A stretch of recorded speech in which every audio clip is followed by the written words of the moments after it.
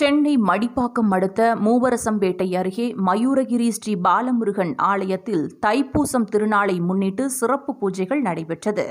சென்னை மடிப்பாக்கம் அடுத்த மூவரசம்பேட்டை அருகே உழைப்பாளி நகரில் உள்ள மயூரி ஸ்ரீ பாலமுருகன் ஆலயத்தில் தைப்பூசம் திருநாளை முன்னிட்டு சிறப்பு பூஜைகள் நடைபெற்றது.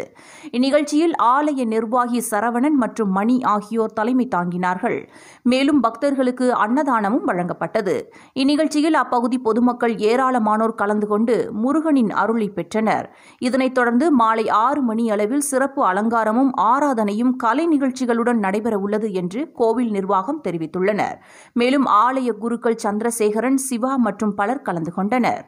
விஸ்வகதாசுர சமகுணாசனம் பிரம்ம கர்வ ஹரவிந்த வரப்பிரதம் சிந்தையே சததம் அம்பிகாசுதம் சுப்பிரமணியோகம் சுப்பிரமணியோகம் சுப்பிரமணியோகம்.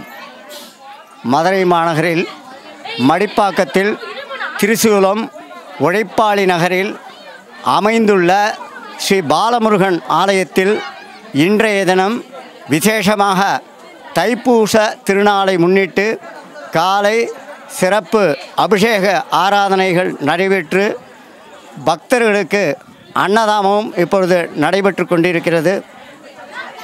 இதை இன்றைய தினம் தைப்பூச திருநாளை முன்னிட்டு முருகப்பெருமான் கோவிலில் அனைத்திலும் விசேஷமாக இருக்கும்.